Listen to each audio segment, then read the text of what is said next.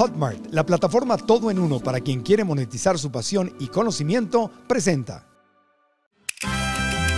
Guadalajara, Guadalajara, presenta.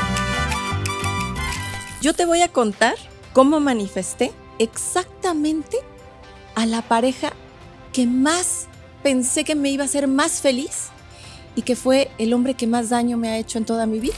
¿Cómo se me iba a ocurrir a mí dejarlo si para mí él era el regalo más grande que la vida me había mandado? Todos somos manifestadores y tú sabías manifestar, pero es peligroso manifestar, muy peligroso manifestar cuando no estás sana por dentro, cuando no estás completa por dentro, cuando no has trabajado en ti, porque lo que estás pidiendo es algo que de hecho no te conviene. Yo manifesté mal a esta pareja. Yo, pero fui yo, desde mi carencia y desde mi soledad, yo volví a manifestar mal. ¿Quieres manifestar a tu pareja ideal? Lo tienes que ser tú primero, no hay de otra. Desde los tiempos más antiguos, una de las grandes preocupaciones de los seres humanos ha sido cómo manifestar el amor, cómo encontrar a la pareja correcta o a la pareja perfecta que me haga feliz. Y bueno, desde poner a santos de cabeza, colgarles listones, este, que la bruja te haga un toloache para darle, este, mentalidad ganadora, 20 mil técnicas que los seres humanos eh, a veces buscamos en la desesperación de que la persona que me gusta me haga caso, de encontrar a esa persona. Le rezo a Diosito para que la manifieste. Bueno, pues hoy Paola Herrera, que es experta en esto, en manifestación consciente, viene a platicarnos cómo desde su punto de vista podemos realmente manifestar ese amor en nuestra vida y atraer a la persona correcta. Así que va a estar interesante el programa. Estamos en Guadalajara, Jalisco, aquí en el Hotel Fiesta Inn con nuestros alumnos de nuestros cursos. Chicos, estamos listos para aprender. Comenzamos. Episodio 288. El podcast de Marco Antonio Regil es una producción de RGL Entertainment y todos sus derechos están reservados.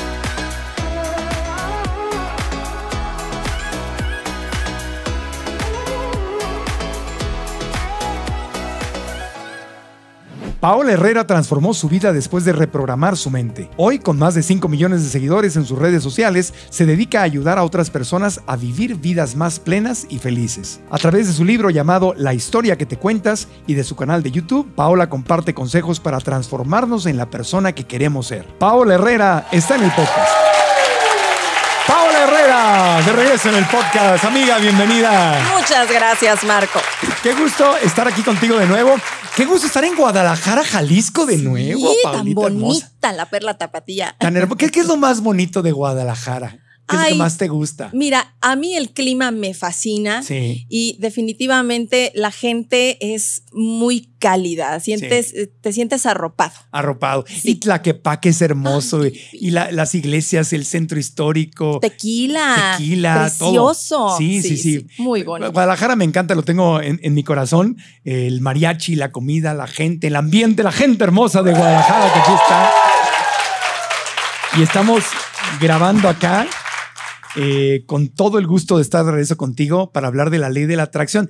Decíamos eso, es una de las preocupaciones más grandes de los seres humanos. Yo me acuerdo cuando era más jovencillo, iba a una iglesia, había un santo, en, en- bueno, ahí todavía un santo ahí en Ciudad de México, San Charbel famoso, Ah, y que es que le colgabas un listón y te hacían milagros. Entonces ahí, ahí iba yo a ponerle el nombre de la que me gustaba eh, y se lo ponía y todo. Hay un montón de, ha habido un- históricamente un montón de técnicas para atraer a la persona correcta.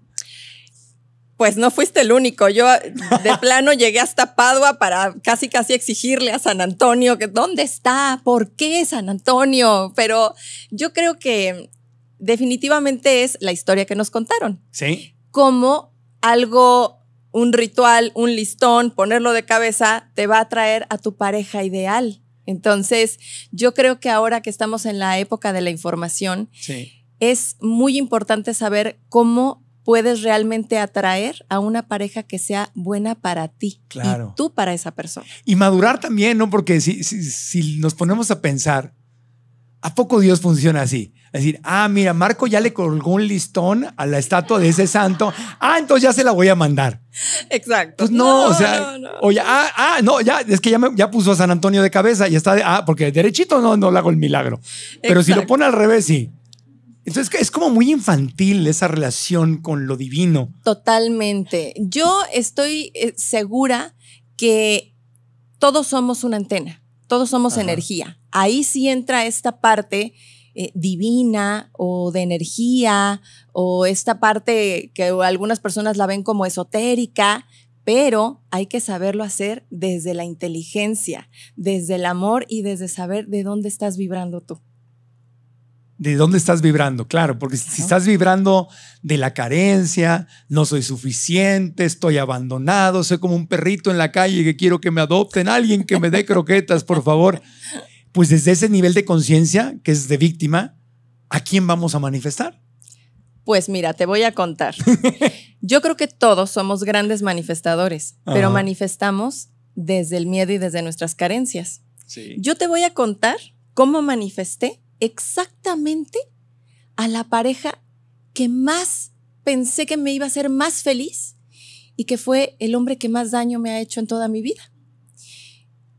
Aquí está mi mami presente y obviamente ella desde su desde la historia que a ella le contaron también, Ajá. pues ella me decía, vamos a buscar, o bueno, busca un hombre bueno, trabajador y que tenga dinero. Yo decía, claro, porque pues eso es lo que a todas nos enseñaron, este príncipe azul. Yo a los 17 años empiezo todo este camino y empiezo un curso de meditación. Y entonces empiezo a decretar y a decretar. Y entonces yo decreté un hombre muy trabajador con mucho dinero. Entonces, a los 20 años, 22, perdón, a los 22 años, una de las que era la mejor amiga de mi mamá, le dice, oye, mi sobrino está buscando novia, ¿está soltera Paola? Sí, pues vamos a Guadalajara a conocerla. Y entonces llega este personaje a mi vida, yo no sabía que venía a conocerme. Y entonces llega y llego a la casa, llegó a la casa y estaba así, ¿no? Así con, como con cara de pocos amigos, así como que yo dije, dije, bueno, pues ni modo. Dije, va a ser una noche bastante aburrida, pero bueno, mi mamá me dijo que la acompañara a cenar. Después del primer drink, después del primer trago, se volvió un hombre encantador, se volvió un hombre tan simpático, con la, bueno, súper ocurrente y con eh, magnético, magnético. Y entonces empezó a hablar, él era, a ver, yo tenía 22 años y él tenía creo que 31. Ya me llevaba bastantes años, pero estábamos muy jóvenes. Y empieza a hablar de que le va muy bien y que ha sido muy exitoso y cómo empezó desde abajo a crecer y a crecer económicamente. Y entonces dije, oye, qué hombre tan interesante. Ajá. Y de repente dije, pues, ¿por qué no? A ver, vamos ¿Por qué viendo, va a ver. Y entonces empieza él muy directo, oye, Pau, ¿qué quieres hacer de tu vida al otro día? Y yo, yo todavía estaba estudiando en la universidad. Entonces yo le dije, pues, la verdad, lo único que quiero es terminar la universidad y pues irme a Italia. Yo tenía muchas ganas de irme a Italia un, un verano. Y no te quieres casar. Y ¿Lo Y acababas yo- de conocer? Exacto, sí. Al, eso me lo preguntó al segundo día que salimos a Tlaquepaque, justamente. A Tlaquepaque. Hablando con razón te acordaste. Exactamente. Y entonces eh, le dije, bueno, en algún momento, pero pues primero tengo que terminar mi carrera y después yo tengo muchas ganas de vivir un verano en Italia. Pero sí, pero es que, pero ¿quieres formar una familia? Sí, claro, en algún momento. Bueno. Al mes, Marco, yo ya estaba o creía que estaba profundamente enamorada de este señor. Ay, no. Sí. Ay, no, como el changuito ese. Ay, no. Exacto. Pero aquí viene otra cosa que te tengo que contar. Ay, Dios mío. Yo crecí toda la vida con esta maravillosa mujer que está aquí, que es mi mamá. Ajá. Toda la vida fuimos ella y yo. Mi papá nunca estuvo en la película. Ok. ¿Qué pasaba conmigo entonces? ¿Qué pasaba? Yo tenía un vacío y una carencia de una figura masculina con autoridad. Entonces, ¿qué manifesté? Manifesté un hombre mucho mayor que yo, un hombre con mucho dinero como yo lo quería y un hombre que me cuidara porque él decía, yo te voy a cuidar y era muy protector conmigo, muy, muy protector. Entonces, yo estaba manifestando desde mi carencia, yo estaba manifestando desde lo que yo pensaba que era el amor, desde lo que yo necesitaba, Desde el vacío. desde el vacío. Entonces al mes viene a Guadalajara y me da un anillo. Al mes, al Paola. mes, al mes. Ay, Dios. Y me pone serenata y entonces, y yo te amo y vamos a ser muy felices. Y yo dije, mira Marco, yo me levantaba todos los días y le decía a Dios, gracias porque me mandaste al hombre más bueno del mundo. Imagínate lo ciega que estaba yo. Sí.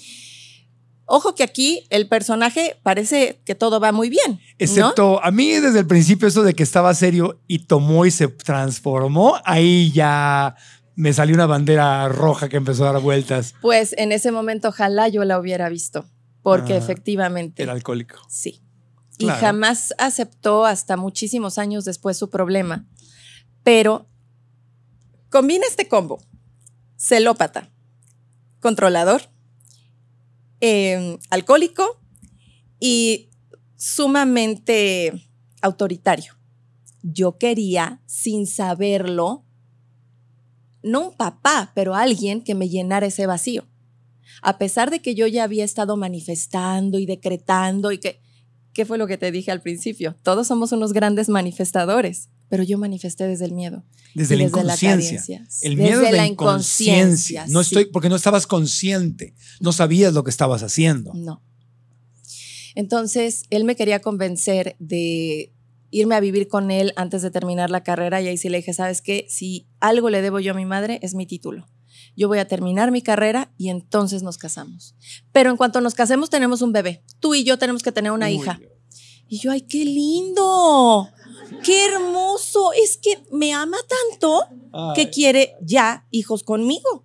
Entonces, empezó toda esta, esta situación en donde yo, cuando él empezó a tomar, bueno, él tomaba de vez en cuando, pero cuando tomaba era una situación muy difícil, muy celoso, eh, muy agresivo. ¿Quién me está viendo? No te está viendo nadie. Me lo voy a ir a golpear porque entonces, y yo era un manojo de nervios. Yo no sabía desde esa inmadurez cómo reaccionar. Entonces empecé a tenerle miedo, Marco. Claro. Mucho miedo. Pero aún así yo pensaba que él era el amor de mi vida, que yo lo amaba con todo mi corazón. Entonces empezó, oye, este, yo siempre me he considerado una mujer muy femenina, pero en mi, dentro de mi personalidad, no siento que sea una mujer vulgar o que enseña mucho o que, y de repente me decía, oye, mi amor, te ves muy bonita, pero ¿y si te compro unos jeans más aguados? Y yo, ¿por qué? Pues para que estés más cómoda, ¿no? Más Y yo, ay, qué lindo, piensa Ah, en mí. Chiquito. Otra vez era alguien diciéndome qué tenía yo que hacer. Y eso te gustaba. Porque me nunca, sentía protegida. Porque nunca lo habías tenido. Exacto. Y pensabas que te hacía falta. Exacto, exacto. Sí, Entonces, yo estaba feliz porque pensé que lo había decretado, claro. que yo me lo había atraído a él. Entonces, y sí lo hice. La Sí. verdad es que sí lo hice. Entonces, no te hago largo el cuento, me cambió demasiado mi personalidad de, de ser una, una chica que se arreglaba mucho, que le gustaba eh, salir, que le gustaba estar muy alegre. Empecé a apagarme, pero tan despacio que no me di cuenta. Hasta que un día me vi al espejo y dije, ¿quién es esa? ¿Qué, qué está pasando? Pero ¿cómo se me iba a ocurrir a mí dejarlo si para mí él era el regalo más grande que la vida me había mandado? Hasta que un día fuimos a una boda y yo lo único que le pedí fue que no tomara, porque yo ya estaba muy cansada y muy asustada de su, de su alcoholismo. Eh, haz de cuenta que le dije, aquí tienes tres botellas de champaña, échatelas todas, porque eso fue lo que hizo. Y mm, se puso muy mal y todavía estaba este after de la boda. Entonces me dijo, vámonos al departamento, estábamos en Ciudad de México, eh, vámonos al departamento, nos cambiamos a algo más cómodo y vamos al after. Y le dije, oye, pero mm, no me gustaría que manejes así. Ah, está muy cerquita, yo puedo. Bueno, íbamos en el periférico en Ciudad de México, se cambia, se cambia, de, eran las 2 de la mañana, se cambia de carril un coche, este se me metió. Y avanza como loco y voy a bajarme y lo, y lo voy a golpear. Y se va a acordar de mí. Gracias a Dios se nos escapó, se nos fue porque yo creo que estaba asustadísimo el pobre hombre, dijo esto que está pasando. Pero ahí, Marco, tuve la fuerza de sacarme el anillo y aventárselo en la cara. O Ahí sea, mismo en el no, llegando, no, llegando al departamento le dije, ¿sabes qué? Esto se acabó. Wow. ¿Qué pasa? Hincado, llorando. Perdóname, tienes razón, es que me voy a ir. Le digo, y ahora me quiero ir a Londres, me quiero ir. Sí, yo te llevo, este, yo, yo creo, no creo, estoy segura. Él pensó, esta se va a ir un mes o dos semanas y no va, no va a aguantar estar sin mí. Entonces, Pero ¿por qué a Londres? Nada más era irte lejos de. mis dos mejores amigas de la Ah. universidad me habían hablado muy padre de sus, sus experiencias en Londres y yo quería lo mismo para mí. Ok. Ento- aparte ya había ido alguna vez de vacaciones y, y fue una ciudad que me gustó mucho. ok. Entonces dije, bueno, ahora en Londres. Y yo te pago el viaje, mi vida, y sí, entonces, total. Me tardé como nueve meses en irme porque todavía no presentaba yo mi examen de titulación. Y todo este tiempo, Marco, yo empecé a hacer un trabajo que me costó, de verdad me drenó todavía más, pero empecé a hacer un trabajo interno de por qué estaba yo con él. A ver, ¿por qué pienso que lo amo? Porque esto no puede ser amor. Y él tampoco me ama a mí, aunque diga que sí, no es cierto. Y comprendí que efectivamente yo había manifestado, claro, a un hombre con mucho dinero y muy trabajador, pero me quedé corta. Me quedé corta en lo que yo tenía que pedir, pero ¿por qué? Porque ni siquiera me conocía a mí tampoco. Entonces, una de las maneras de manifestar a una pareja correcta es quién eres tú. Ujú. Conócete a ti primero para saber qué es lo que estás buscando. Y además, y esto yo creo que ya lo hemos escuchado en tantos lugares, Marco, pero no nos hacemos conscientes. Buscamos a alguien que nos complemente y eso es un error. Porque ¿cómo vamos a andar dos personas con el vaso medio vacío tratando de que tú me complementes a mí si no vas a poder?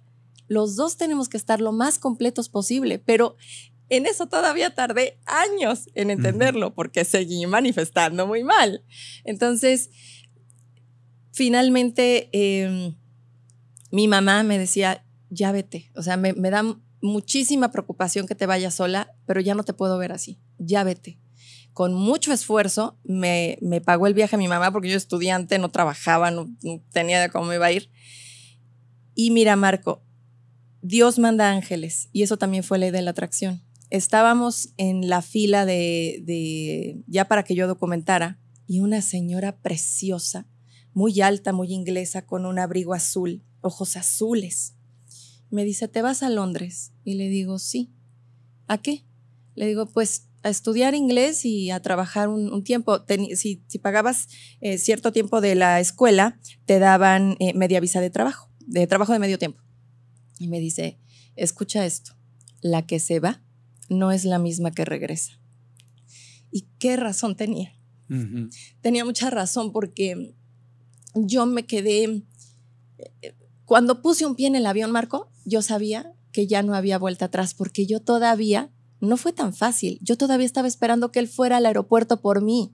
O sea, no, esto no crean que es de, ay, sí, ya, le regresé el anillo y ya. No, o sea, él era de, te vas a ir y yo te espero y va- luego vemos. Y yo todavía decía, qué miedo irme sola. Y sí me voy a ir, y de verdad me voy a ir.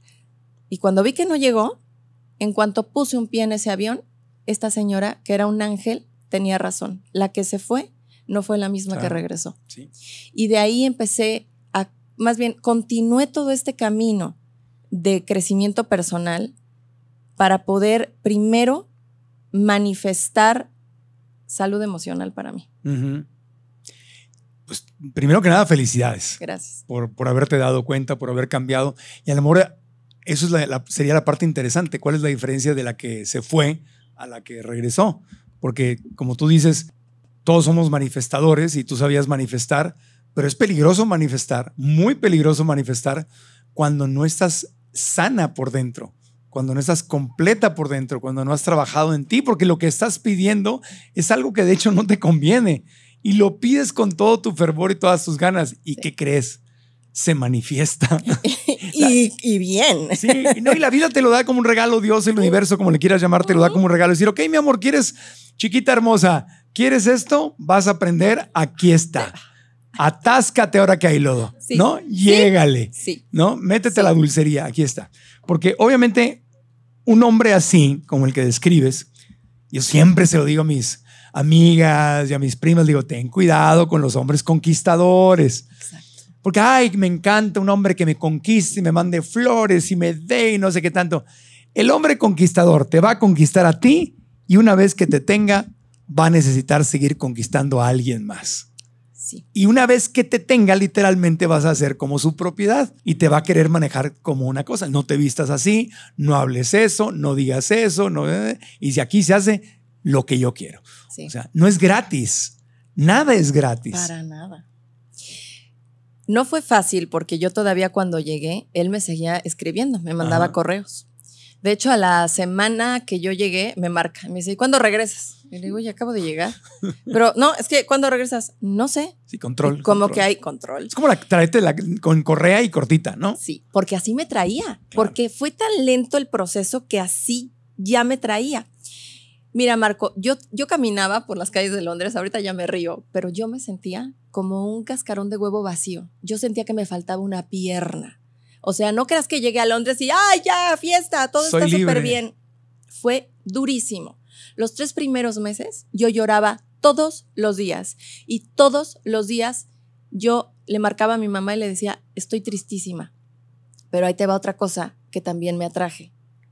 Yo le pedí a Dios, al universo, que si él iba a cambiar, porque yo todavía pensaba que él podía cambiar, pues que me diera una señal. Y si no, también. Yo llegué. ¿No? O sea, No, ya ¿a- qué ya voy? te había dado como 100 No, señales. pero es que cuando estás tan enam- tan No es lo que ves. estás tan cegado. Mira, Marco, a mí me escriben tanto en mi canal con esta misma historia. Sí, y me sí, dicen, sí. pero va a cambiar, ¿verdad. Paola? Porque tienes esa ilusión. Sí. Mira, ¿qué más me dio la vida? Porque de verdad yo lo pedí. La escuela te arreglaba eh, el hospedaje. Entonces llego a vivir con una pareja de irlandeses, ambos de 70 años, y ella muy linda, muy amable, y él de repente ahí medio alejado. Era alcohólico. Y a su edad llegaba del pop todas las noches gritando y mentando madres. Y Liz, que era la señora que, Wow. que, que estaba ahí en la casa, lo, lo aguantaba. Entonces un día yo, primero yo no sabía que llegaba borracho, porque yo me, me encerraba en mi cuarto muy temprano. Ajá. Entonces, de repente un día como que empecé a pensar, dije, se me hace que está ebrio. Ay, Dios mío. Bueno, bajo un día a la sala y estaba Liz con su hermana. Entonces, le Liz ya sabía mi historia y me decía, oye, pero entonces parece que sí te quiere. Ah, porque le hablaba llorando a mi mamá. Por favor, dame dónde está su dirección, porque la voy a ir a buscar y la voy a convencer. Y mi mamá, no, esto ya se acabó. Entonces yo le contaba esto a Liz y ella me decía, pues parece que sí te quiere. Y me hacía dudar. Entonces baja un día en la noche y está Liz con su hermana y le dice, ay, mira, es que Paola está aquí porque se iba a casar y entonces fíjate que no sé qué. Pero yo le digo que va a cambiar. Y me volteé a ver con una autoridad la hermana y me dice, no la escuches. Así como está, lleva 50 años esperando a que cambie su marido. Claro. Eso también fue ley de atracción, Marco, porque yo pedí una señal más clara, ya no podía estar. Claro, eh, además de las que ya tenías. A base de las que ya tenía, Sí, pero sí, te digo que uno se esta- ciega. Sí, sí, sí. Uno se ciega. O sea, te viste en un espejo. Esta Me voy a ser yo dentro de espejo. 50 años.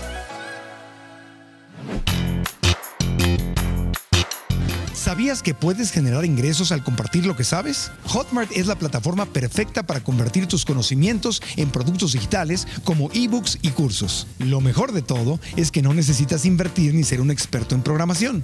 Crear tu primer producto y venderlo es más sencillo de lo que imaginas. Con Hotmart puedes distribuir tus contenidos en más de 188 países. Esto significa que tus ventas serán 18% mejores que en otras plataformas. Haz clic en el enlace que encontrarás abajo o ve a hotmart.com diagonal ES-MEX y regístrate ahora mismo. Al hacerlo recibirás una guía paso a paso para comenzar tu negocio digital con Hotmart lo antes posible. Y ahora continuamos con el podcast. Después de eso, aparte porque vivía yo un poco lejos del centro de donde trabajaba, Ajá. me cambié de casa y dije, ok, ya entendí. Esto todavía está muy mal, no tengo amigos, el trabajo en el que estoy me choca, pero voy a hacer que funcione. Y no me voy de aquí hasta que sea otra Paola. y empecé a trabajar en mí, conocí ángeles, de verdad, amigos que aún conservo con todo mi corazón y con toda el alma, que también ya esa es otra historia muy bonita, pero trabajé tanto en mí porque yo pues era la niña que estudiaba y, y, vivía con su mamá y ya, y no conocía más de la vida. Una ciudad como Londres a mí me forjó tanto, vi tantos puntos de vista distintos, tantos estilos de vida, tantas personas que eran felices con su relación sana. Yo decía, ay, mira qué abiertos, qué bárbaros, qué permisivos, ¿no? O sea, pensando que, mira, él sí le deja a ella hacer lo que se le dé la gana. Yo venía con el cerebro muy lavado, Marco, muy lavado. Y empecé a darme cuenta y conocí mujeres tan empoderadas y hombres tan buenos y me empecé a enriquecer tanto, pero sobre todo trabajé mucho en mí. Estuve, de al último me fui de plano a vivir sola y disfruté tanto esa etapa de mi vida.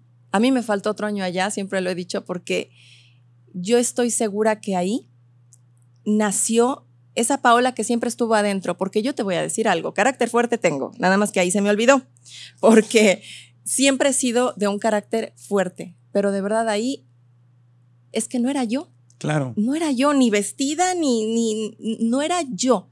En algún momento iba a salir, o sea, el punto es que yo no lo iba a aguantar 50 años como Liz, pero yo trabajé mucho en mí y en, y en la forma en la que yo veía el amor. Por eso yo creo que cuando uno realmente quiere manifestar el amor, tienes que saber qué es el amor para ti, porque para mí a nivel inconsciente era un, una, una figura masculina con autoridad. Pues, un papá, ¿no? Un papá. Sí, tal cual, hay que decirlo. Eso no es el amor. No. Eso no es el amor. Entonces, ¿quieres manifestar el amor? Primero, ¿qué es para ti?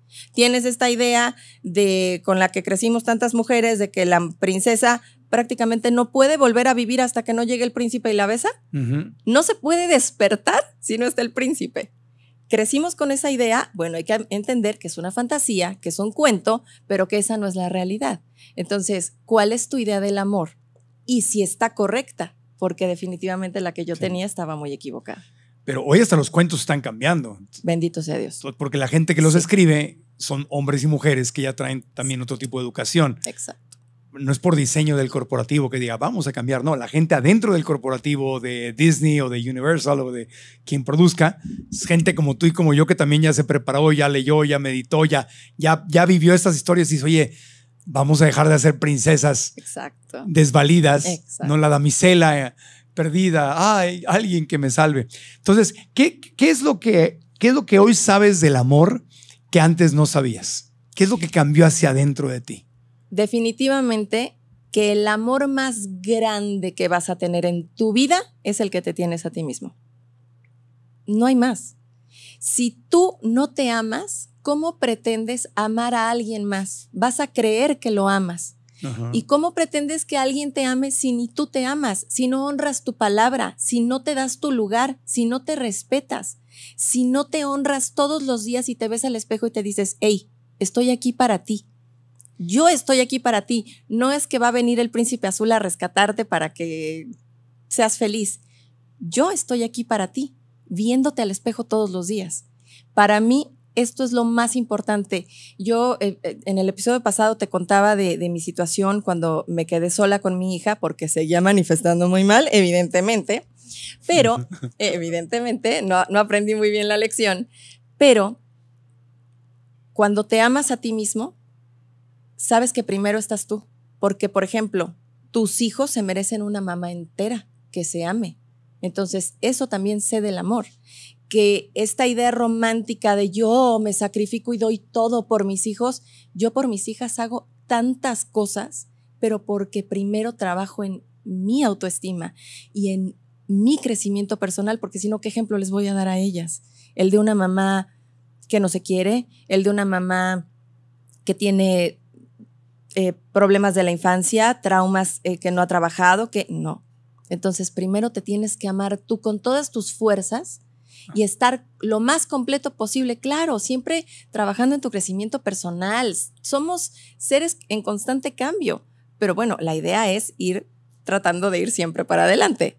Sin embargo, si tú no estás trabajado bien en tu amor propio, en tu niño herido, en estas eh, carencias o en esta idea del amor errónea, no vas a poder tener a la pareja más sana. Entonces, cuando hoy manifiestas, bueno, hoy estás felizmente en pareja. Muy felizmente casada. ¿Ya, casada, ¿ya llevas cuánto tiempo casada? Pasado mañana vamos a cumplir dos años de casados. Felicidades. Muchas Un aplauso, bonito, bonito, bonito. Para la gente que está manifestando o que quiere manifestar, y no me refiero solo a los solteros, porque debe haber mucha gente casada que también quiere manifestar el amor, porque estar casada, como tú lo acabas de ejemplificar, no significa que tienes amor en tu vida. Hay, gente que quiere manifestar amor. Usando esta ley de la atracción, ¿cómo le aconsejarías a la gente que articule la idea de lo que quiere encontrar para no pedir algo que en vez de ser felicidad sea una lección fuerte de vida? Número uno, haz una lista.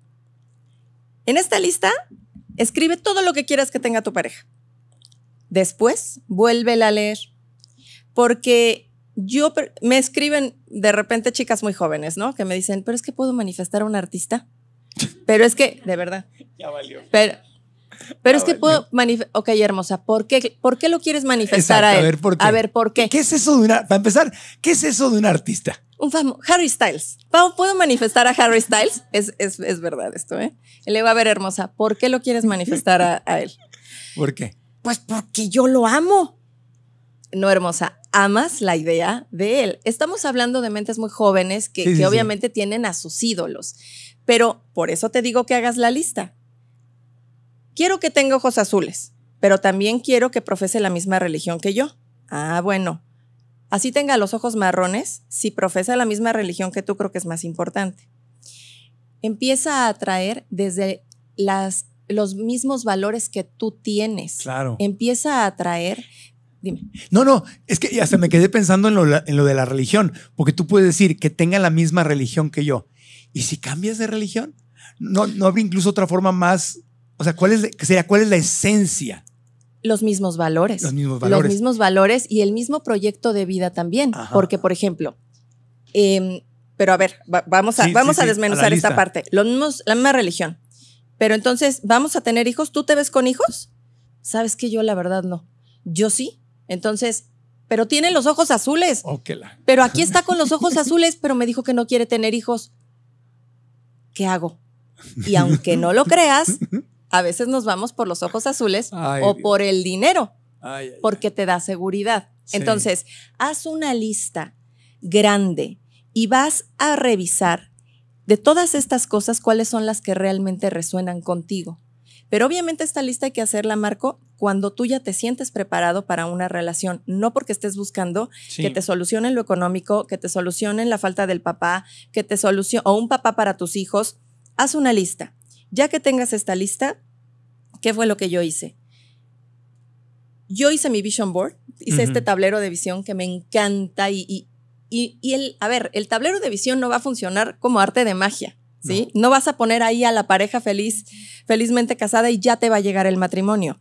Esto sirve única y exclusivamente para hacerte vibrar y programarte todos los días de, ah, estoy buscando una pareja con este valor, con esta personalidad, así, así, y alguien que me acepte y a quien yo acepte.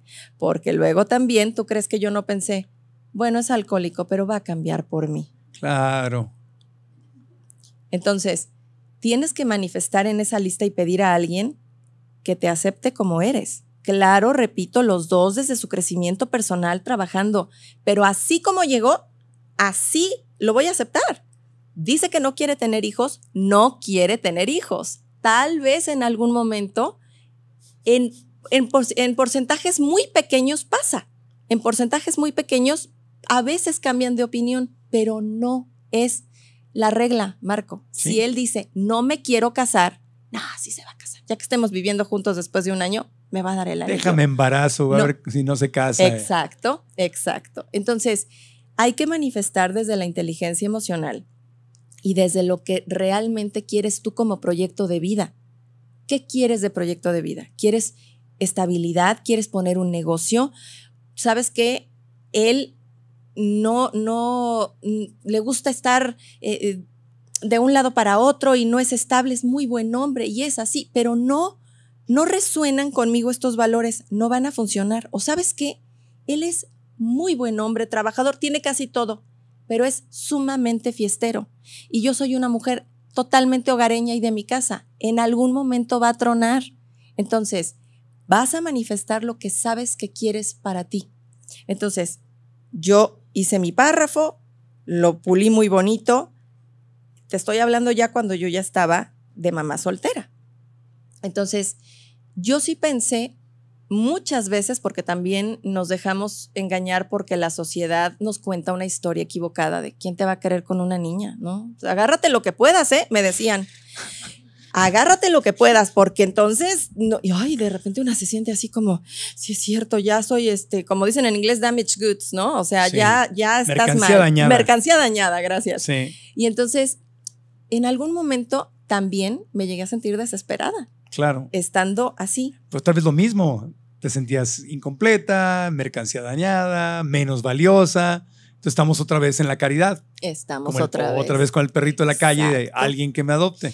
Pero aquí la diferencia es que yo me cansé.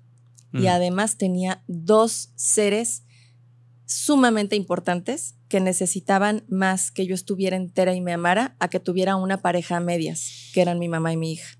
Entonces, hice mi cartita al universo, lo pedí muy buen hombre, yo no sé por qué, yo dije, estaría padre que fuera extranjero. No sé por qué se me ocurrió, ¿eh?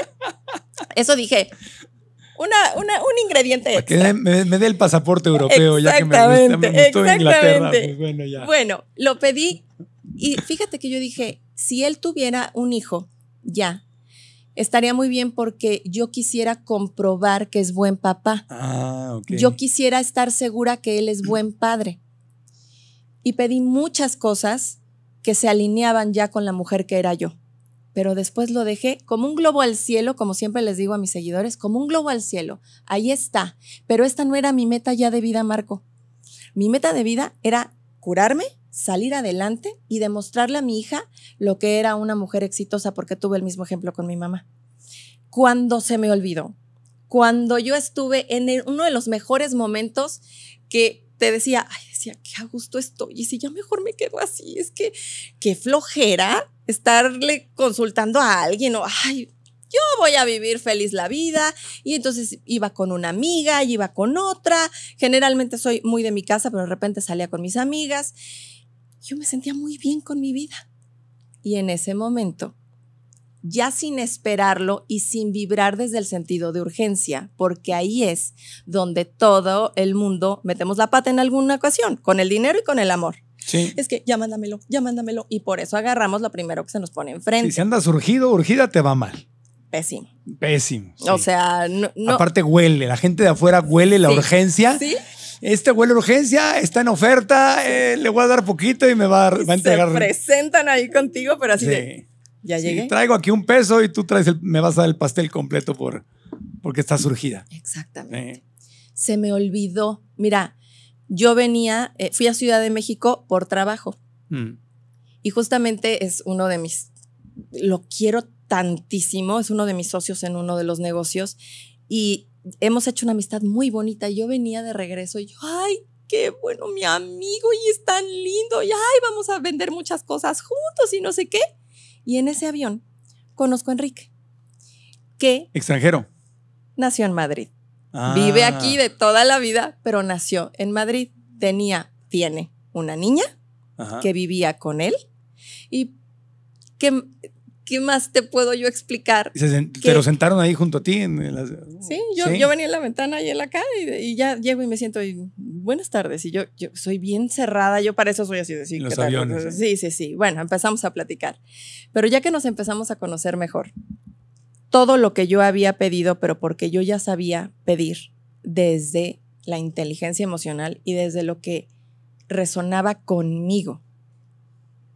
Resultaba que tenía una hija que era súper hogareño igual que yo, que había nacido en Madrid, que ahí sí dije, es que, wow, no por eso cuando... Pero lo eh, querías extranjero ¿por qué? Para que tuviera una mente más abierta. Sí, la verdad, sí. Nada, no, tiene, no tengo nada en contra de los mexicanos, por favor, que no se vaya a entender esta, esta cuestión, pero yo, des- mira, después de haber vivido en Londres, sí se me abrió mucho la mente en Viste cómo había más libertad para la mujer europea. Efectivamente. Y dijiste, oye, pues, que no, Sí. tampoco es ninguna garantía si hay extranjeros celosillos. En todos lados se cuecen habas. Pero aquí dicen. querías una- una- un extranjero, mente abierta, que te permitiera ser, que no fuera celoso contigo, que te apoyara. Entonces por ahí iba la cosa, ok. Y fue justamente, y también manifiesta o pide a alguien a quien tú también admires. No Mm. nada más que te admiren a ti. Tú también pide a alguien y manifiesta a alguien porque la admiración no se acaba, Marco. No. Nunca se acaba. Cuando estás con alguien a quien realmente admiras, es tan bonito Sí. porque aparte te, te, te enseña, también es tu maestro en muchas cosas Sí. y te inspira y te complementa. Entonces, cuando empezamos a ver que empiezan a encajar todas las piezas, dijimos, bueno, esto está muy padre, vamos a seguirnos conociendo, pero yo no traía ya el vestido de novia en la cajuela, ni mucho menos. Ya era de, vamos a conocernos, vamos a ver que se conozcan las niñas, a ver qué tal. Primer día que se conocieron, haz de cuenta que se conocían de toda la vida es, eh, y a la fecha es una relación mágica de hermanas y empezamos a ver que muchas piezas encajaban. Él también ya venía de un aprendizaje en el amor muy duro, muy duro. Por ende, él también ya sabía qué quería y qué no quería.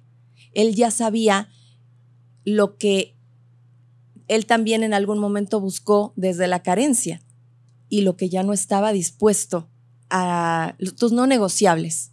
Por ejemplo, y evidentemente en mi caso es el alcoholismo. Ninguno Claro. de los dos bebemos ni por error.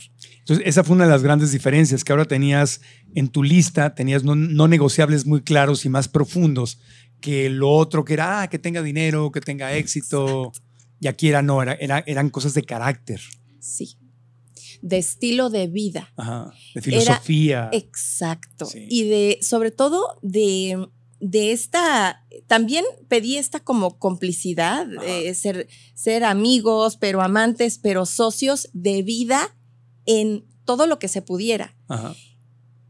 Y también se lo expuse. O sea, ya cuando, eh, cuando comenzamos ya a salir y a hablar seriamente, yo sí le dije, y fui muy clara, no sé si fue un error o no, eh, es- eh, me doy cuenta que no, pero yo le dije, yo sí estoy buscando un papá para Sofía. Dime si esto no resuena contigo, porque el papá de Sofía no está aquí. Y yo sí quiero que si voy a estar con alguien, ya que vimos que esto estaba mucho más avanzado, Sí. y estábamos incluso hablando de vivir juntos, le dije, yo sí, entonces necesito que tú vayas a ser su figura paterna porque yo voy a ser la figura materna de Mai. Porque este, es mi, este sería mi proyecto de vida. ¿Te late? Es 100% lo que yo estoy buscando Pero también. hay que preguntar, tener el valor de preguntar las cosas tal cual como son. Por supuesto. no lo vaya yo a asustar. que se asuste. Que se Qué bueno. sí. Te, hacen, te un favor. ¿sí? Pero, ojo, el que llegue extranjero y guapetón y no sé qué, no quiere decir que sea el indicado. Exactamente. Porque luego también me escriben y me dicen, Pau, ya lo encontré, ya llegó, y ahora sí es este. Y al mes, no era, ya me puso el cuerno, no sé qué, ya sabes. Y yo, a ver, practica tu poder que tienes como gran manifestador, pero no quiere decir que el que vaya a llegar va a ser ese Ajá. tienes que conocer a la persona. Una cosa es atraer a- más o menos a esta imagen, pero después te tienes que asegurar, porque si te vas a este pensamiento mágico de, ya lo manifesté, ya llegó, si era él, ya, casémonos, tú y yo forever. No, no, no, no, no. Esta parte para los solteros, pero tú también me preguntabas, ¿qué pasa cuando ya están casados? Sí. Es que yo siempre voy a pensar que el amor se manifiesta todos los días. Aún las personas que están casadas, si tienen ganas de mejorar su relación y de trabajar en ella, a ver, por mucho que estás casada con un alcohólico, por mucho que decretes y digas y hagas, no puedes actuar sobre el libre albedrío de alguien más. No vas a poder. Si él no quiere cambiar, no va a cambiar. Si él quiere cambiar por él, por primero, él, por él o por ella. por él, sí, o por ella, entonces hay una posibilidad de mejorar. Y entonces él también puede decir, bueno, voy a decretar que voy a tener mejores hábitos y que voy a ir a Alcohólicos Anónimos y que entonces, pero no, luego me dicen, es que quiero decretar que mi ex me ame de nuevo. No, nena, o no, nene, no va por ahí. Es que no puedes tratar de usar la ley de atracción como una varita mágica para que obligues Claro. a alguien, por eso hágale un amarre y que eso no funciona. A ver, Un no, no hagan caso, ¿eh? Por Un favor. amarre. Es que, es que Ya sé. me han escrito, es que Ya le hice un amarre y no funcionó. Y yo. ¿por qué no sirven? Antes de continuar con el podcast, quiero decirte que este episodio fue grabado en la maravillosa ciudad de Guadalajara. Visitar Guadalajara es un deleite. En estos días hemos tenido la oportunidad de conocer su centro histórico, su catedral y el Teatro de Gollado, que son preciosas joyas arquitectónicas que todos debemos conocer. Pudimos recorrer Tlaquepaque, donde vivimos un viaje en el tiempo con sus calles empedradas, casas de adobe y talleres de artesanías. A nosotros que nos gusta tanto aprender, nos maravilló el Instituto Cultural Cabañas, un edificio histórico impresionante que alberga murales del famoso artista mexicano José Clemente Orozco. Hemos disfrutado tanto de la comida, el mariachi y la cultura de esta ciudad a la que esperamos volver muy pronto, a la hermosísima Guadalajara. Tú también, cuando tengas la oportunidad, visita Guadalajara. Guadalajara es tradicionalmente moderna. Conoce más en Facebook, Instagram y TikTok en arroba visita Guadalajara. No, pero aparte, la- una cosa es la ley de la atracción, no es ley del capricho, porque eso suena a capricho. Tiene que volver conmigo. Lo voy, va, va a ser exactamente, es puro control, control, control, control, versus fluir. Exacto. ¿no? Pero entonces eso ya no es ley de atracción. Es lo que estábamos platicando. Es carencia, es sentido de urgencia y es un. eh, sí, un capricho. Es, no, es que tiene que ser como yo digo que sea. Sí, el amor no es urgencia. No. No. Mira, yo tenía una amiga que no sabía estar sola. Ajá. Yo le decía, es que eres como Tarzán, de liana en liana, de pareja en pareja. ¿No has soltado a este? Ya lo andas tronando y ya andas coqueteando con este de acá. Le decía, eres de liana en liana. Ay, no, es que yo así soy feliz. Es que no sabes estar contigo, le decía yo. No te, no te conoces. Sí. Entonces, si hay personas que nos estén viendo que se sienten en esta, identificados en esta situación, ¿por qué no quieren estar solos?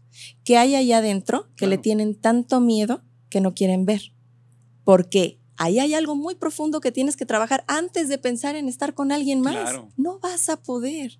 Entonces, yo estoy segura que, volviendo al tema de estar en pareja, claro que puedes manifestar en tu misma relación que mejore, pero si ya están juntos, tiene que ser de dos. Tiene Él que ser de dos. Y, sí. y obviamente si estás con alguien, pues lo primero sería empezar y ver si, la, si ya que estás con alguien, pues es con esa persona a la que puedes. Mira, por eso te digo, yo estaba, antes de, de conocer al papá de Sofía, yo estuve muchos años todavía, Marco, Ajá. enojada con la vida. ¿Por qué en mi papel de víctima? ¿Por qué no me casé con este hombre? ¿Por qué no cambió por mí? ¿Por qué? ¿Y, y por qué? ¿Y Con- por qué? Con el ricachón. Con el ricachón. Ok. ¿Y por qué? ¿Y por qué? ¿Y por qué? Regreso a México, empiezo a trabajar y empiezo a andar con un chico muy buen chico, muy buen A- hombre. antes de, de tu marido Sí. europeo. No, sí, sí, sí. Entonces, sí, sí, sí, esto fue eh, a mis 28, algo así. Ok. Pero esto también le pasa a muchas personas, Marco. Buscan al ex en la nueva pareja o lo comparan todo el tiempo. Ya me llegó esta nueva pareja, lo voy a moldear para que sea como aquel. Sí. Y eso me pasó. Mm. Y no me da pena contarlo, ni mucho menos, porque al contrario, yo quiero que mi experiencia les sirva a todos aquellos Claro. hombres y mujeres que están pasando por ahí, porque es muy común. Entonces, no supe valorar a este chico. Terminamos y me cae el 20 de lo mal que estaba yo. En esa que fue una de las mayores depresiones de mi vida, porque no hay nada más terrible que tener la culpa hacia ti mismo que no perdonarte a ti. En ese momento, yo lo único que quería era compañía. Y ahí conocí al papá de Sofía. Claro. Nos casamos, pero evidentemente éramos el agua y el aceite. No iba a funcionar, no había forma. Cuando Sofía tiene cuatro meses y medio, se va. Claro. Entonces, también volví a aprender que la carencia y la, la, el duelo lo tienes que vivir aunque te duela y aunque sientas que te falta una pierna. No huirle. Y aunque no, lo tienes que enfrentar. Fíjate que es mucho más la historia que te cuentas aquí, de lo que va a pasar en el duelo, Sí. que lo que realmente es. Sí. Me di cuenta muy tarde, pero mm, no me arrepiento porque tengo a uno de mis mayores tesoros, que es mi hija, Claro. pero también yo lo manifesté, porque yo quería una pareja, porque no quería estar sola. Y por eso agarré a lo primero que se pasó Claro. a lo primero. Ay, también le gusta diseñar joyería. Ay, y vi el potencial. Dije, tiene muchísimo potencial, pero corazón, cuando las personas tienen potencial y no tienen la más mínima intención de desarrollarlo, ahí se va a quedar.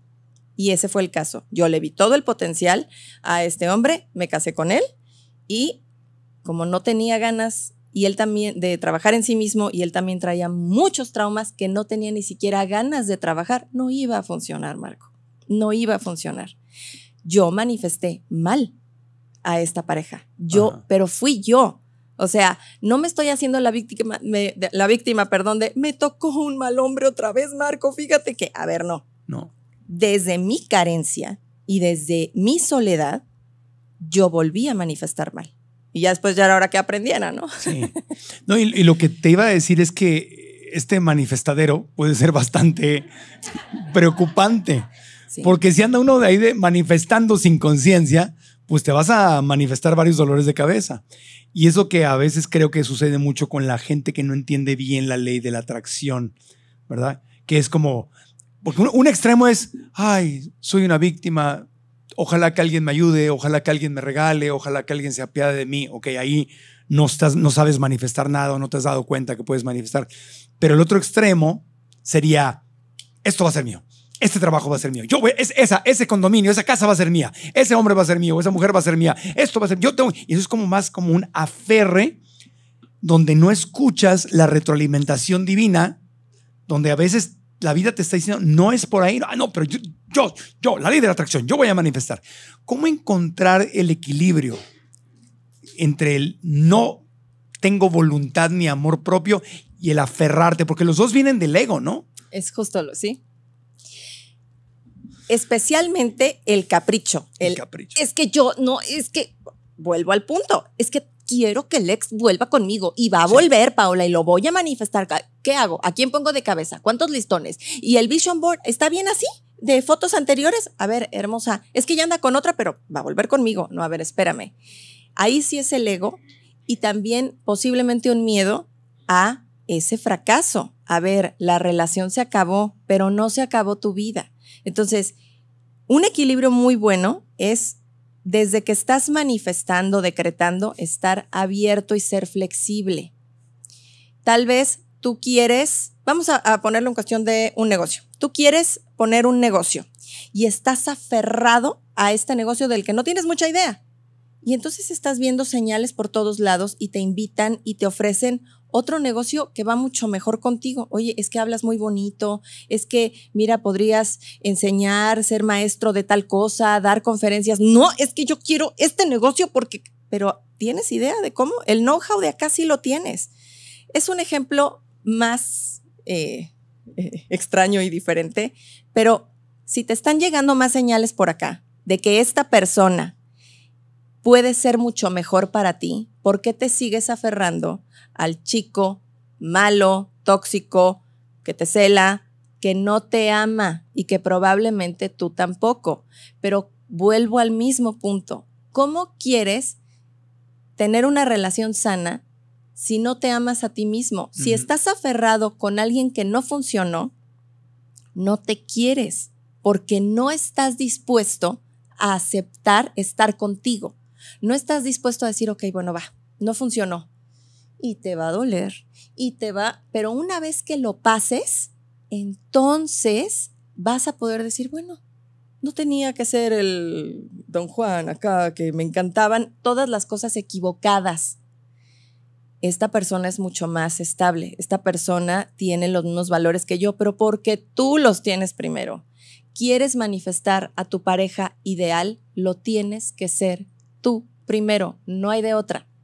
Si estás aferrado, no es momento de estar en una relación.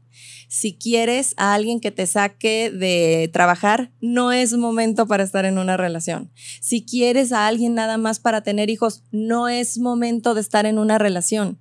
Ese equilibrio lo tienes que tener tú solito primero, porque eso es la persona que piensa que solo tiene un ala y el otro le va a llegar a poner la otra. Nunca va a pasar.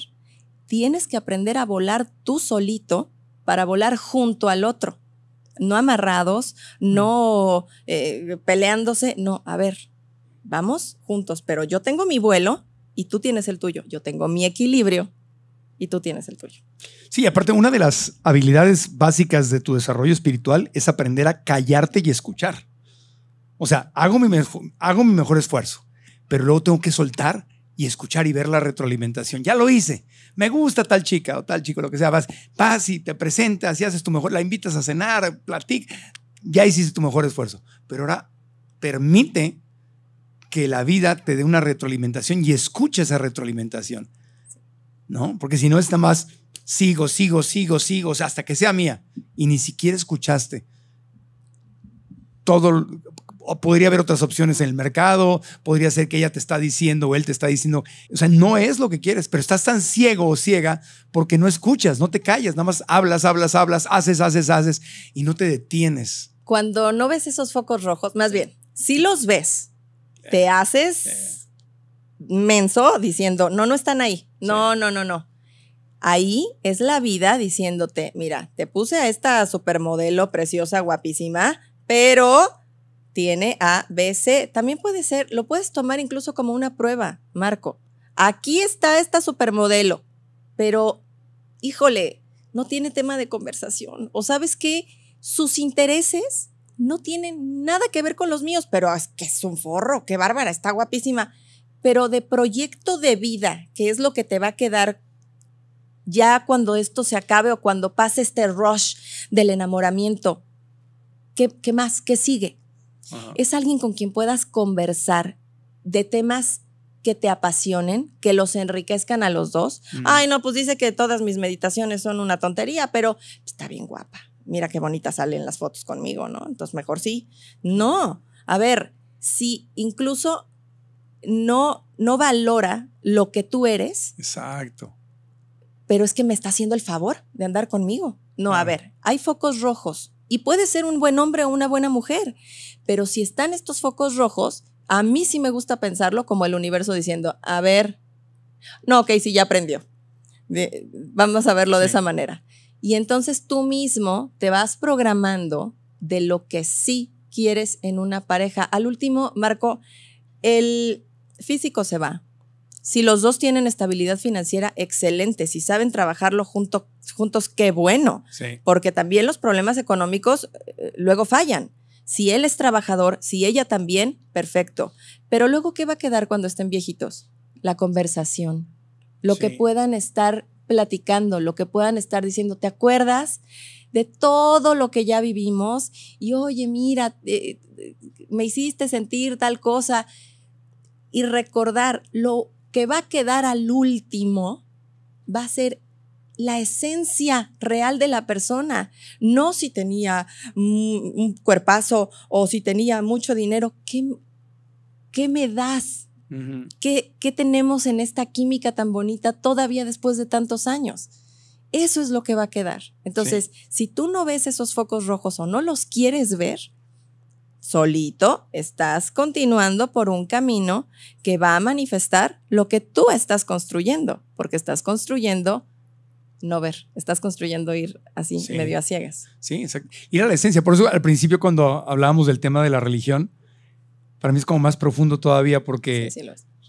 ¿qué es lo que te gusta de esa persona? A lo mejor lo que quieres es una persona compasiva, una persona amorosa, una persona piadosa, una persona que perdone, para mí esas características son más importantes que una religión en específico, porque la gente sí cambia de religión. Sí.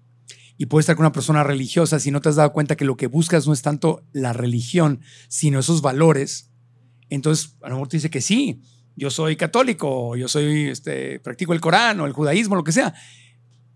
Y tú asumes que porque practica eso es compasiva o es amorosa y no. Entonces es como irte al, origen. Porque ¿qué, ¿qué, más te da?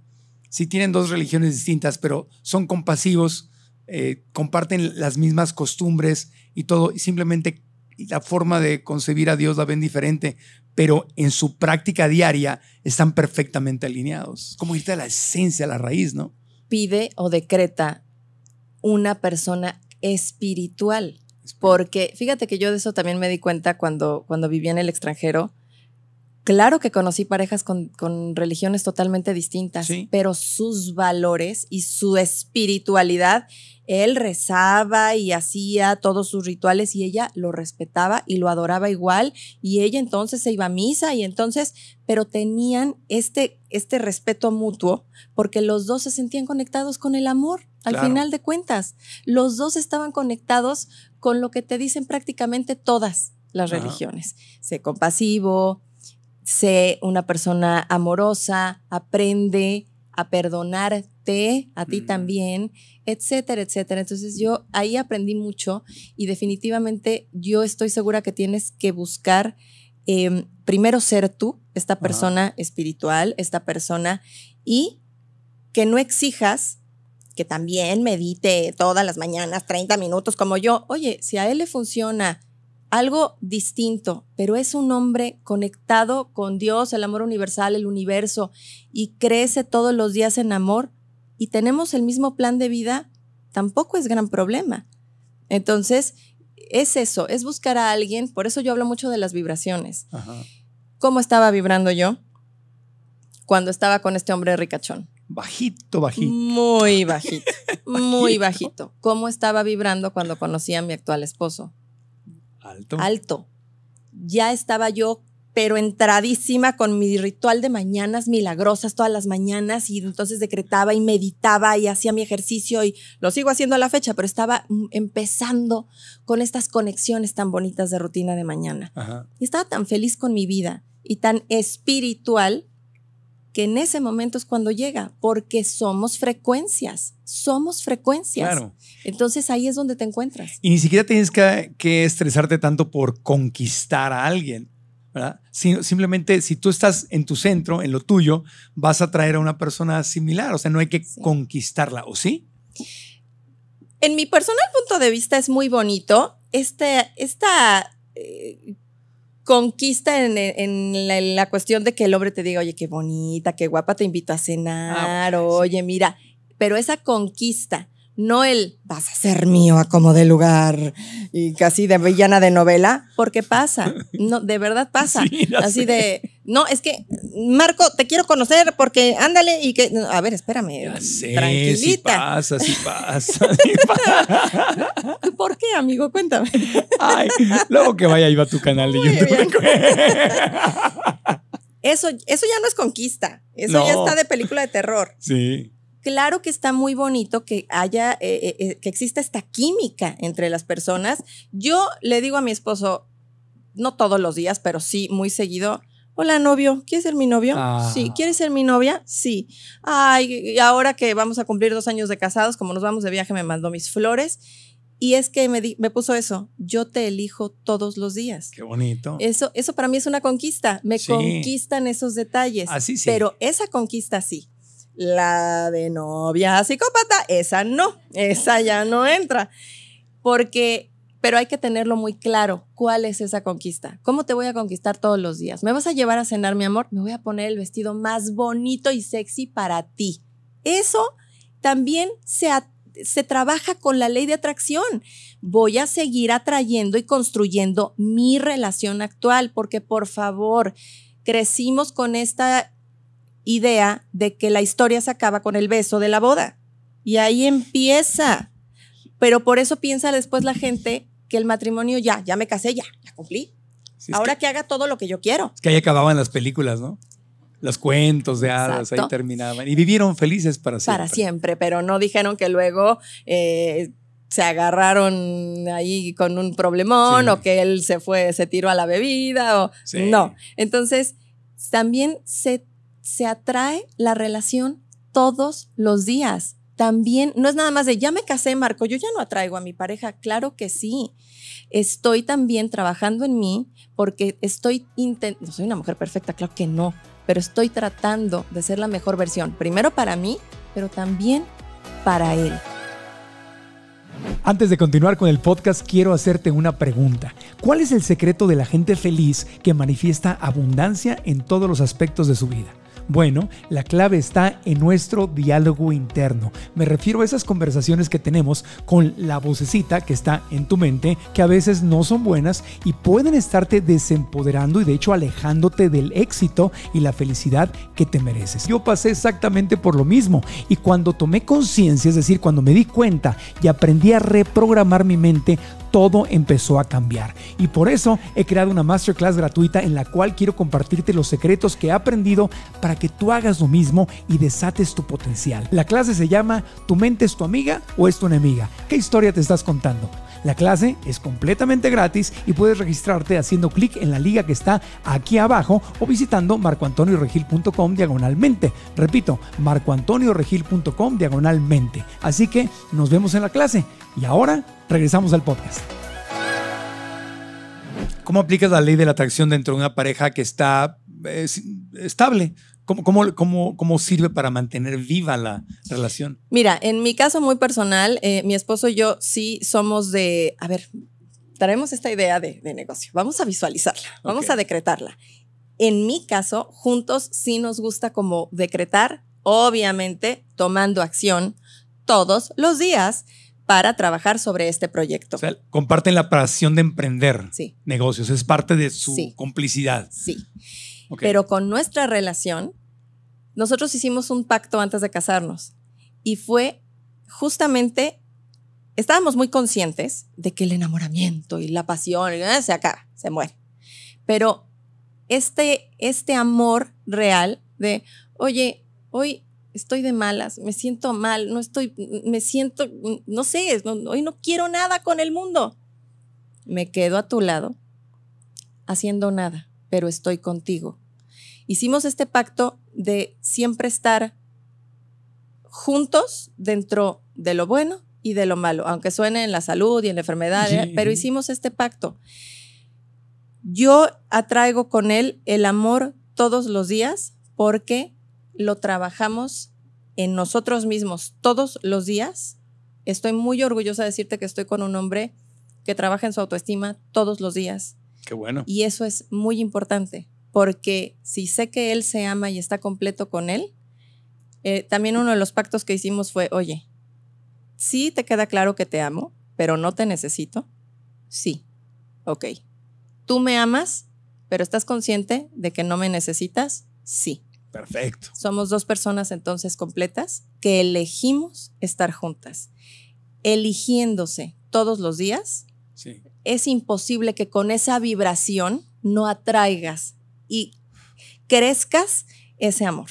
O sea, para yo estar contento con la idea de que alguien no me necesita, tengo que renunciar a la idea de querer controlar a esa persona. Porque si no me necesita, no la puedo controlar. Y si eso es- te suena bien, está sano. Perfecto. Pero si no te gusta y quieres que te necesiten, porque entonces así puedo negociarle y decirle qué hacer y todo, entonces hace falta ir a terapia primero. Hace falta trabajar en ti, Sí. porque si quieres, no, es que yo le voy a decir que entonces hagamos esto porque ya sé que me va a hacer caso, porque lo voy a chantajear con tal cosa. Sí. Eso es ser tóxico. Nadie te va a querer como yo, nadie te va a tratar como yo, bla, bla, bla, bla. Y si él tampoco ha trabajado en su amor propio, se la va a creer. Ay, sí es cierto. Entonces están en estas relaciones que son totalmente infelices y miserables, pero es que quién me va a querer como él, pero es que él hace lo que yo le diga. Y ahí duran años. Pero es que entonces esas son dos personas incompletas que se tienen que tratar, que tienen que trabajar en ellos primero. Hay algunos pensamientos, tú, tú, ah, igual que yo, nos encanta hablar de la historia que nos contamos y de cómo pues, la esa historia su- te la cuentas aquí adentro y se proyecta y se manifiesta afuera. Sí. Entonces, ¿qué ¿de qué historias te has tenido que deshacer o has descubierto que, que te ha servido sacarlas de tu vida para manifestar esta salud en pareja? Definitivamente la primera, el caballero en su armadura reluciente y en su caballo que me va a venir a rescatar. Ajá. Nadie me puede rescatar más que yo misma. Hay cosas de las que me he tenido que rescatar yo, porque todos tenemos a este niño herido. Sí. Eso, eso fue lo primero, alguien que me, porque sí me llegué a sentir yo, mira, volviendo a este tema, porque sí te lo quiero puntualizar, cuando ya estaba yo con este hombre ricachón, mi mamá me dijo desde todo su amor, hija, qué bueno que ya estás con alguien que te va a cuidar. Claro.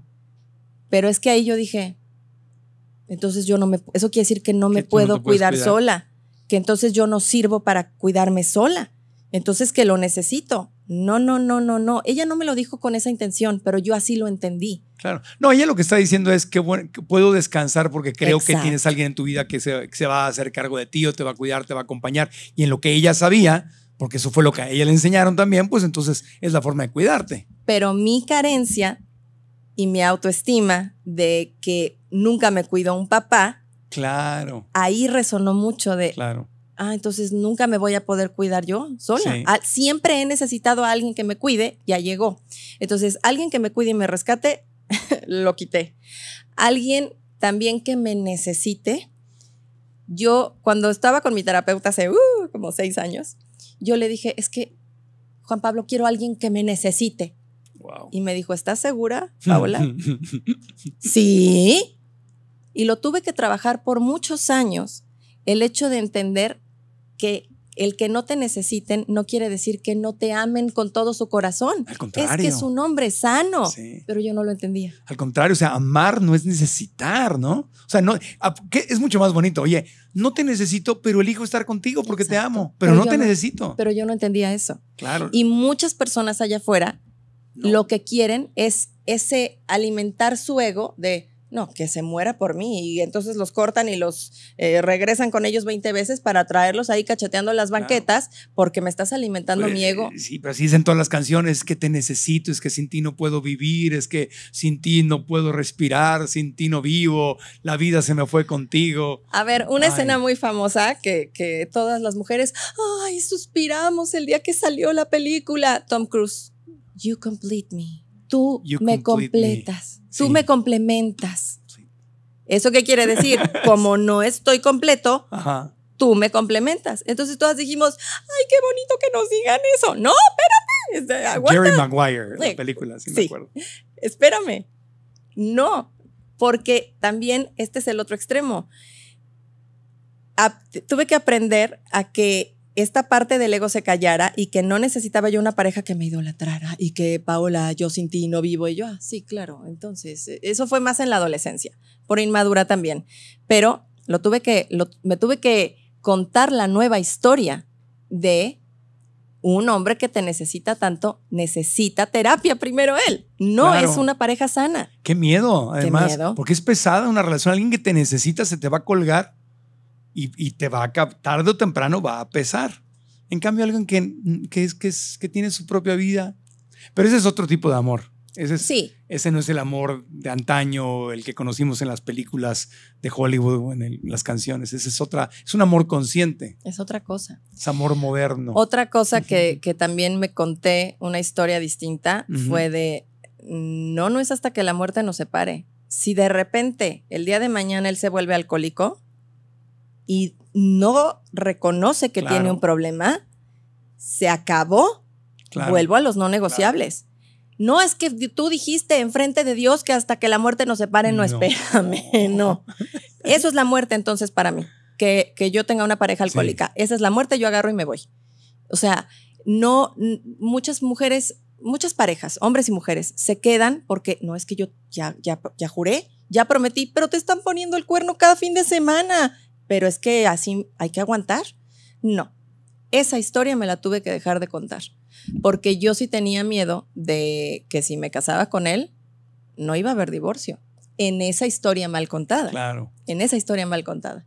Entonces, no, no es hasta que la muerte nos separe. Sí, pero es una historia muy religiosa. Sí, Muy, muy, muy religiosa. sí. No amorosa, religiosa. Ya te comprometiste ante Dios y ya, Desde el miedo, ya. Así. porque entonces Dios se va a enojar contigo y te va a castigar. Exactamente. Es una historia contada desde el miedo. También historias contadas de que yo sin un hombre no valgo o no voy a poder. ¿No voy a poder qué? O sea, digo, ya a estas alturas de mi vida, ¿no? Con 41 años ya, ya me tuvo que haber quedado claro. Pero sí, mucho tiempo yo, yo, yo decía, es que yo nací para estar en pareja. Me encanta estar en pareja. Qué me diferente. fascina. Lo elijo. Pero ¿qué crees? También me encanta estar conmigo. Me fascina, me caigo re bien. Tengo momentos muy padres conmigo. Sí. Y eso está increíble. Así que no, es que yo nací solamente para estar en pareja. Yo nací para ti. También hay canciones así, ¿no? Yo Sí. nací para amarte. No, a ver, espérame. Sí, para amarte. no, no va por ahí. Naciste para amarte a ti primero. Que elijas amar a los demás es otra cosa. Pero definitivamente han sido muchas historias que venían de la carencia, del miedo y de lo que diga la sociedad. Y de la cultura, y de la religión, y de la educación, y de la familia, y de lo que vemos en la tele, y de las novelas, y las historias. Y, o sea, es que cómo no creernos todas esas historias si en algún punto es casi todo lo que nos rodea. Es lo único que conocimos, es lo único que vimos. Ahora estamos en, en estos tiempos, pues hay otras fuentes de información. Sí. Pero hasta hace unos años estaba controladísima la información y venía solamente de unas fuentes específicas y no tenías forma de ni siquiera considerar otras cosas. Porque para ti eran la verdad absoluta. O sea, Claro. si te lo dicen aquí y te lo dicen allá y te lo dicen acá, y yo ya me quiero divorciar porque esto es un infierno, Claro. pero pues, ¿qué van a decir los demás? tienes ¿Y que ser buena estar mal? niña, mijita, tienes que ser buena Claro. niña. Una niña de familia no hace eso. Exacto. No, o sea, que sí. ¿Cómo vas a dejar a tus hijos sin papá? A ver, esto es muy distinto. Que, que nos separemos quiere decir que él tendría que seguirse haciendo cargo. Pero yo no tengo por qué estar nada más aparentando en las reuniones y en las fiestas que estamos muy bien cuando en, a puertas cerradas no nos aguantamos ya. Qué horrible. Y una de las historias que más me costó trabajo fue quitarme esta, esta idea de el miedo a los hombres. El miedo a los hombres. Esto no tiene que ver con el amor, pero sí, yo cuando regreso a México entro a trabajar al banco y me toca otra vez una muy bonita prueba de vida. El jefe que yo tenía, Marco, era un ogro. Yo elegí verlo así. Ajá. ¿sí? Y de repente escuchaba yo sus pasos saliendo del elevador y empezaba yo a temblar como Chihuahua en Navidad, ya sabes, así de... Como y- Chihuahua. como en Navidad. Chihuahua en Navidad empezaba yo a temblar, te lo juro. Se me quebraba la voz. Buenos días, licenciado. No sé qué. Y, y- y yo decía, ¿pero qué me pasa? Tuve que trabajar tanto a esa niña herida que no tuvo papá. Tuve que trabajar tanto a ese vacío de tener una figura masculina con autoridad que también eso me liberó como no tienes idea. Ahora pregúntame si me ponen a alguien así, amigo, socio, ay, agarro y corro en el sentido opuesto lo más rápido que puedo. Claro. Pero entendí que, como le dicen, perdón por usar tantos anglicismos, pero en inglés le dicen daddy issues. Sí. Me pasó con el jefe y me pasó con una pareja. Problemas de papito. Problemas de papito, Sí, exactamente. Quiero tener papá. Sí. Y eso me lo tuve que quitar porque yo me di cuenta que aunque ya estaba más o menos más tranquila de saber que yo había tomado la mejor decisión al haberme subido ese avión, Ajá. ese problema ahí seguía. Claro. Ese problema ahí seguía y trabajé muchísimo en él y hoy sí te puedo decir que esa herida está sanada. saliste y cuando, cuando has tenido algo que te ha marcado mucho desde niña, siempre hay que tener cuidado porque a veces se vuelve a presentar como una pequeña tendencia, porque es algo que está tan enraizado que a lo mejor lo sanas, pero siempre hay como una pequeña tendencia que hay que estar observando y vigilando por si acaso, para que no vuelva a reverdecer y a tomar... Porque es parte de ti. ¿Sí? Es, es realmente es parte de ti un niño herido. Cuando ves que quiere volver a salir, le dices, espérame, aquí está este adulto que viene a hacerse cargo de ti. A ver, Sí. vente, vamos los dos, sí podemos.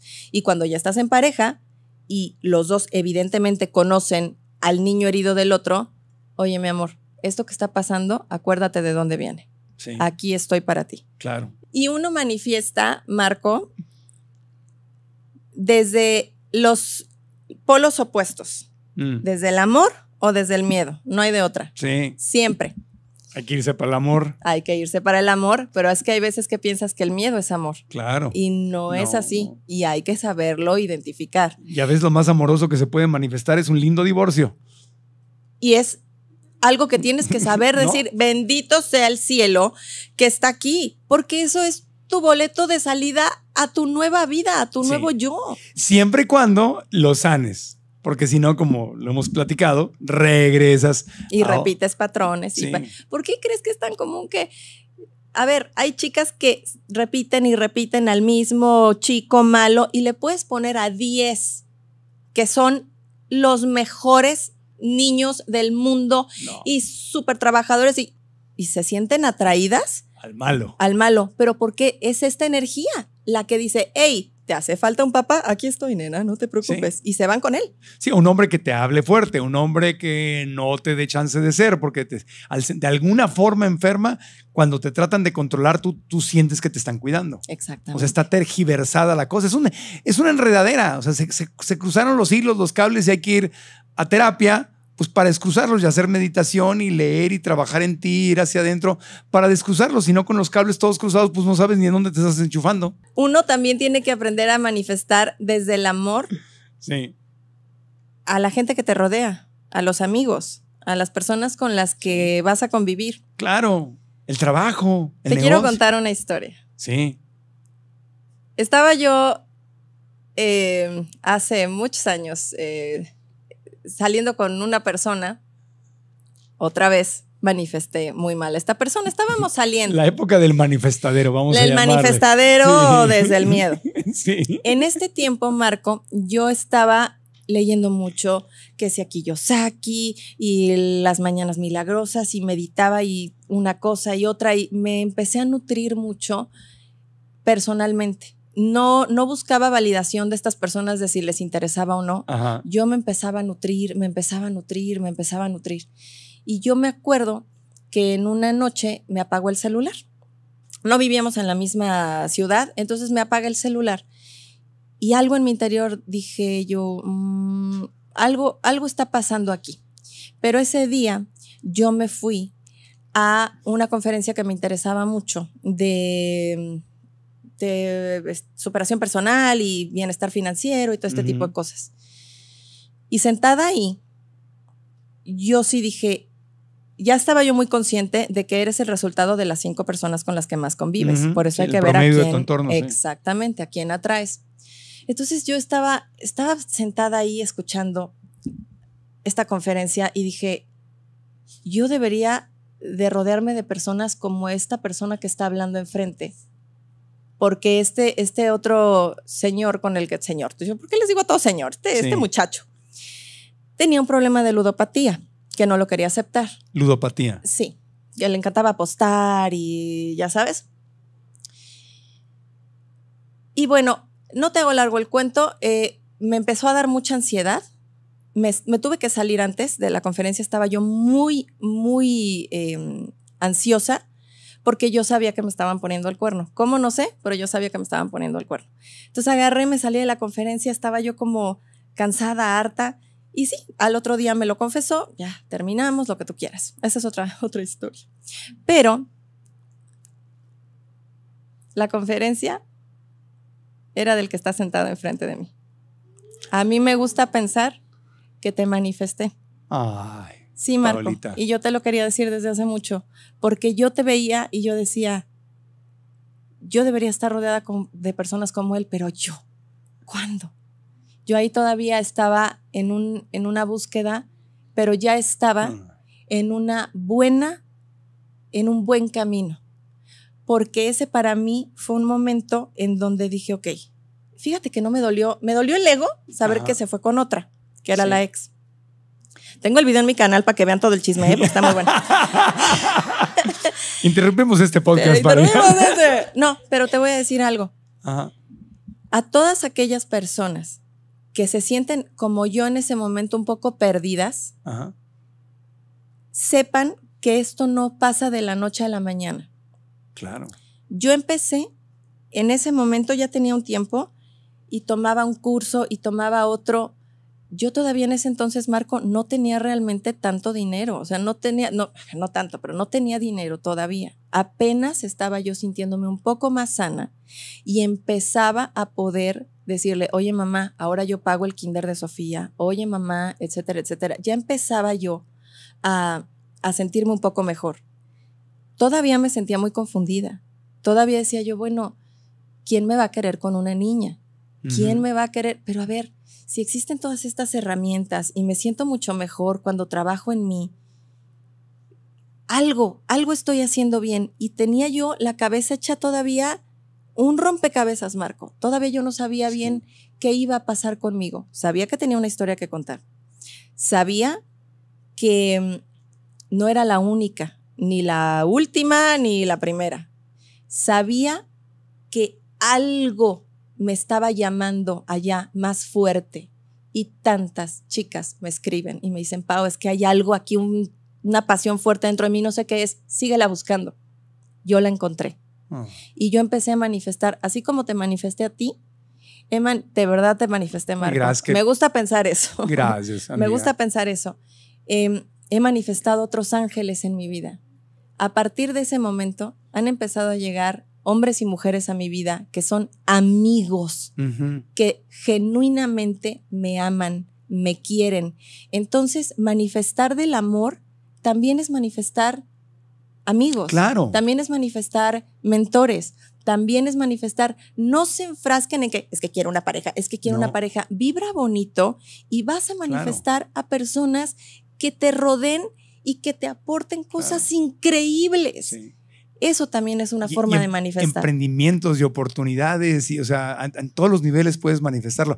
Me siento súper honrado, digo, gracias por compartir esa anécdota de haberte en ese momento reflejado algo que evidentemente pues ya sabemos que así como que lo que te choca te checa, también cuando ves algo que te gusta es porque lo traes en ti, entonces dices, ah, te ves en un espejo, así que si en algún momento ha sido un espejo en cualquier aspecto para ti, no sé qué haya dicho yo en esa conferencia, pero, pero es un honor haber sido tu espejo y es un honor conocerte y pues gracias porque nos manifestamos aquí. Sí, estoy total, gracias a ti es Marco. Un gusto ser tu amigo. Gracias Marco, de verdad te lo digo, eh, no, no, te escribo mucho porque a veces digo, vas a estar muy ocupado, pero de verdad que yo eh, tengo mucho respeto y admiración por ti. y eso también es una manera de manifestar. Manifestar abundancia de todo. Hoy te puedo decir que me siento una mujer abundante. Claro. Aquí todo lo demás llega por añadidura. Claro. Trabajo un montón. Sí. Le, friego mucho y busco por aquí, busco por allá y hago y deshago, pero porque primero aprendí a amarme y a ser abundante y a sentirme abundante desde mi amor propio. Ahí es cuando llega todo. Y eso es muy atractivo. Por la gente que se, que se pregunta, ¿cómo uso la ley de la atracción para mantener una pareja o atraer a la pareja? Esa, esa es la fórmula. Brilla tú primero. Porque eso es, o sea, para una persona sana, ver a una persona que está brillando y que se ama y que manifiesta y que eso es súper atractivo. Para una persona enfermita, no, no se va a acercar. Un toxiquín busca a su toxiquina. ¿O se va a acercar para pagar tu luz? Claro, ándale. Porque estás pidiendo que te, que te la, que te, la, paguen. Exacto. Pero una persona brillante que está en, en amor, consigo y con su vida y con Dios y el universo y lo que manifiesta, va a traer algo similar y va a decir, así como el chihuahuita que tiembla en Navidad trae otro chihuahuita, pues tú también ya, ya lo hiciste. Pues gracias de todo corazón, Pablo. Ha sido un gusto tenerte de nuevo aquí en el podcast. Pero gracias igual que la vez pasada, que nos volvamos a reunir pronto. Y te agradezco mucho. Algo que no te haya preguntado, que se haya quedado en el tintero sobre la ley de la atracción en cuanto a manifestar el amor en tu vida. ¿Algún último consejo que nos quieras dar? La frase que ha sido mi máxima de vida. La historia que te cuentas, manifiestas. La historia que te cuentas, manifiestas. Sí. ¿Y en dónde te podemos encontrar? Me pueden encontrar en Instagram y Facebook como Paola Herrera Beauty, en TikTok como Paola Herrera M y obviamente en YouTube Paola Herrera. Ahí estoy. Le damos un aplauso a Paola Herrera con mucho cariño. Qué gusto estar aquí en la preciosa Guadalajara y le recomendamos a, a toda la gente que nos ve si, bueno, a los mexicanos y a los que no son mexicanos, que si cuando vengan para acá visiten Guadalajara, que es preciosa, el Teatro Degollado, este, ¿qué más? El, centro de Guadalajara. El centro. Aparte, váyanse a dar una vuelta también al centro joyero. Somos eh, líderes en, en, joyería. Tenemos diseñadores increíbles de joyería, diseñadores de moda. Sí. La verdad que Guadalajara, vivir aquí para mí es una delicia. Lo máximo. El- el- la, la Expo Guadalajara, que es el centro de convenciones Más grande. más grande y más hermoso y más próspero de todo México y, y quizá uno de los más grandes de toda América Latina. Está lleno de convenciones. La cultura, el hospicio, cabañas, la música, el mariachi, ya lo dijimos, la gente bella. El, el tequila. El tequila. ¿Cómo no? No se diga el tequila, no se diga el tequila.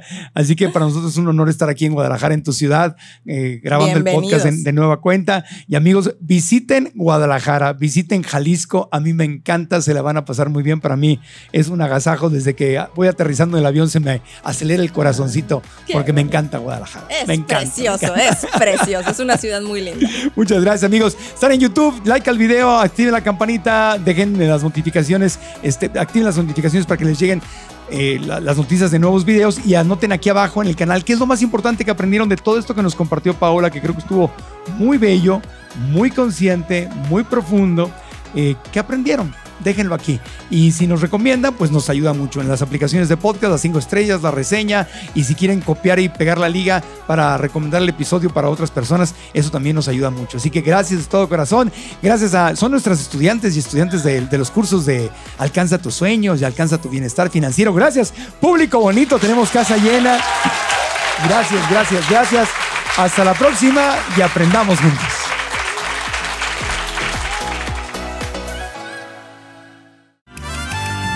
Guadalajara, Guadalajara presentó. Hotmart, la plataforma todo en uno para quien quiere monetizar su pasión y conocimiento, presentó.